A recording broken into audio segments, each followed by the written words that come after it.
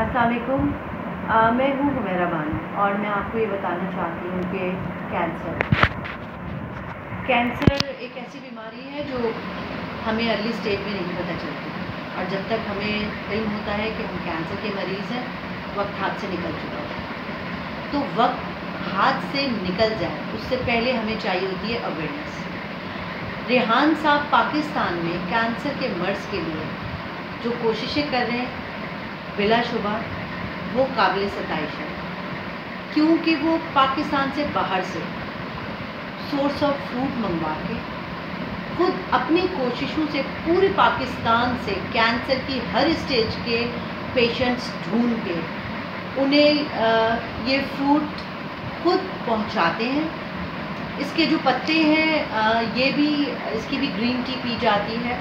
ये भी पहुंचाते हैं और सिर्फ़ पहुंचाते नहीं हैं, बल्कि कैंसर से बचाव के तरीके, इस सूप, इस सोर्स ऑफ़ फ्रूट को इस्तेमाल करने का तरीका, इस इस ग्रीन टी को पीने का तरीका, इसकी क्वांटिटी वो सब अवेयरनेस देते हैं। रेहान साहब जो पाकिस्तान में सोर्स ऑफ़ फ्रूट जो कि मिस्टर सोर्स ऑफ़ के नाम से मशहूर हैं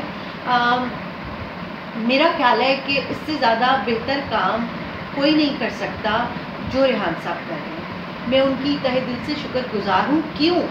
इसलिए कि मैं भी आज ये सोर्स ऑफ़ फ्रूट जो मेरे सामने रखा है या जो ये इसके लीफ मेरे पास हैं, मैं भी फेसबुक पे और डिफरेंट सोशल मीडिया पे इनका ये पेज देख के मैंने लाइक किए और इनसे अवेयरनेस ली कि ये क्या है और कुछ मेरे फ्रेंड्स कुछ जानने वाले जिनकी, जिनको कैंसर था कैंसर है जो भी स्टेजेस थी मैंने इनसे ये फ्रूट मंगवा के उन लोगों को प्रोवाइड किया, उनको ये लीफ इसके प्रोवाइड किए।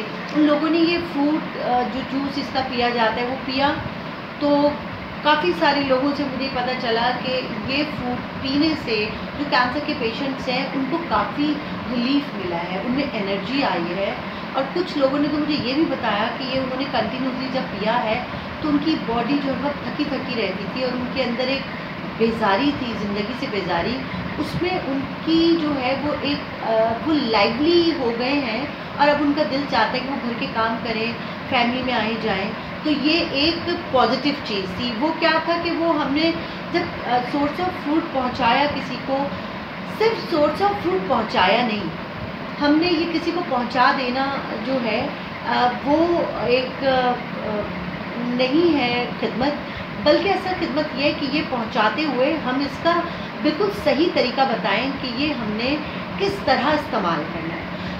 तो ये रिहान साहब जो है पूरे पाकिस्तान में काम कर रहे हैं। अब मैं बताना चाहूँगी, कैंसर जो मर्ज़ है, वो एक मर्ज़ से ज़ाहिर है।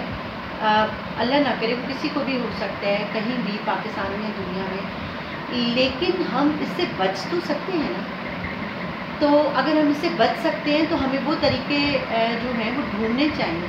और हमें वो तरीके इस्तेमाल करने चाहिए अपनी डेली लाइफ में, कि जिससे हम इस बीमारी से बच सकें, दूसरों को बता सकें कि तुम इस बीमारी से बच सकते हो अगर हम नेचुरल डाइट यूज़ करें। देखें, हम बहुत महँगा इलाज, हम आप कोई भी नहीं करवा सकता, लेकिन हम उस बीमारी से बचने के लिए, हम आज से अपनी ज़िंदगी में अगर नेचुरल डाइट शुरू करेंगे तो हम बच सकते हैं, है ना?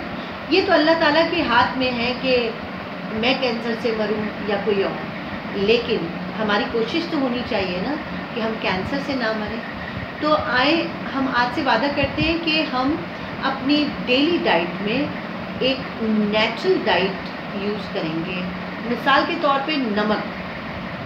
हम नेचुरल नमक यूज़ करेंगे। हम चीनी नेचुरल यूज़ करेंगे।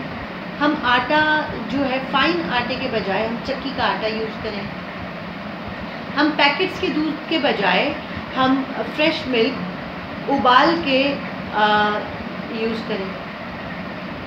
और इसके साथ साथ आप लोग जो जो भी अगर ये कर सकता हो तो वीट ग्रास अपने घर में ग्रो करें और उसका जूस पिए डेली रूटीन में। चाहे वो पाँच ग्राम जूस हो, लेकिन वो आप पिए। क्योंकि वो कैंसर जो है, वो आपका इम्यून सिस्टम जो है, उसी का डिसबैलेंस होने की वजह से कैंसर का मर्ज बनता है। तो जब हम अपने सिस्टम को सही करेंगे तो हम बीमारी से भी बचेंगे।